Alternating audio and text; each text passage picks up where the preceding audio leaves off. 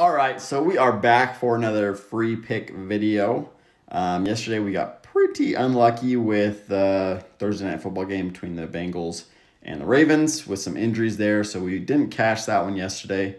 Uh, but we are back today with an all NBA one, so let's just jump straight into that.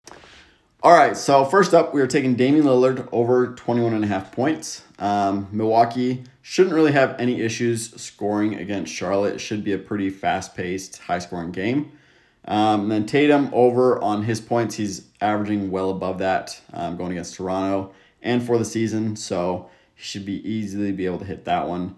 And then Tobias Harris, um, Joel Embiid's a game time decision, so not sure if he will play yet, but if he doesn't play, um, this will be an incredible line because we'll be looking for a lot more of Tobias Harris in this game. And lastly, Kevin Durant against Utah. Once again, um, he should be able to score pretty easily there. Utah does have a decent um, defense, but looking for his over on points as well. So this is the play I am playing with tonight.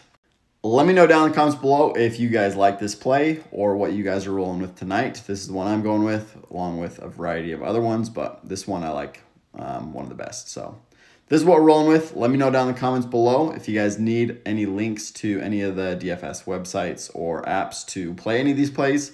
Um, those will be down in the description below. So let's go win some money tonight.